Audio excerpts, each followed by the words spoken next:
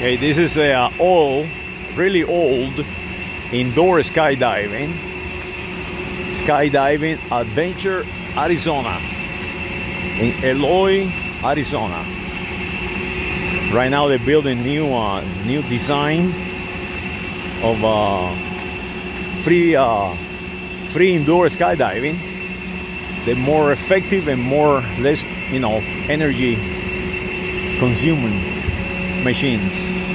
But this is uh, what used to be back in the days and it still works. So come and see it. Come and use it. Skydive.